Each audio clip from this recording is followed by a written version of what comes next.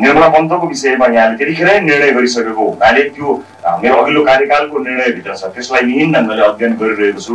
मेरो लागि त्यो अत्यन्तै महत्त्वपूर्ण विषय हो। सिङ्गो देशका लागि निर्मललाई न्याय दिनुपर्ने कुरा संवेदनशील छ। तर त्यहाँ काहीँ न काहीँ केही न केही कमजोरीहरू भएको हुनाले अनुसन्धानमा देखिएको कठिनाइलाई पनि हामी नजरअन्दाज गर्न सक्दैनौँ। यहाँलाई थाहा छ त्यो कठिनाइहरूको कारणले केही डिले अवश्य भएको छ होला। तर हाम्रो नियत यसलाई समाधान गरेर लैजाने कुरामा नै अडिक छ। निरन्तर हामी लागिरहनेछौँ।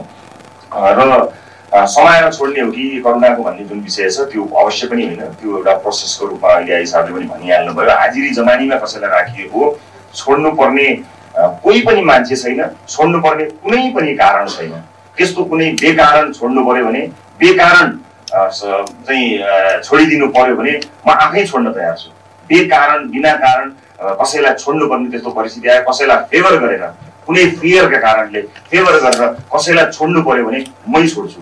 तर त्यसरी छोड्ने काम हुँदैन। म यति कुराको सुनिश्चितता यहाँलाई गराउन चाहन्छु।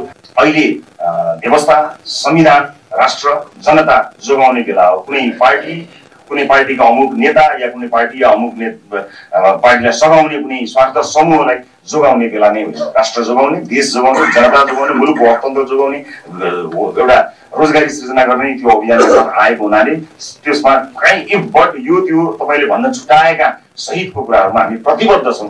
मात्र समयको कुरा हो। मैले भनिरहन्छु कहिलेकाहीँ प्रायः कि यो जति भोक लाग्यो भने थालै खान सकिँदैन घाँसै घाँस हुन्छ।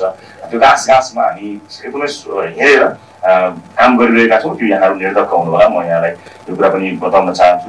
मान्य सरेन्द्रनाथ शुक्ल कर्णालीको विषय एकदम संवेदनशील छ त्यसमा कुराहरू उठिआयो। भूकम्प पीडितका लागि भनिएको विषयमा हामी मनसुनभन्दा अगाडि नै यसमा जति तातु निकायहरू पनि केही जोडिनु भएको छ उहाँहरूबाट लिएर मनसुनभन्दा अगाडि नै राहतको लागि हामी लागि परिरहेका छौँ। हाम्रो यो गृह मन्त्रालय अन्तर्गत अन्तर्गतका जति पनि निकायले यसलाई हेरिरहेका छन् एकदम गम्भीर प्रकार पूर्वक लागिरहेको हुनाले म यहाँलाई निर्धक हुन अनुरोध गर्न चाहन्छु।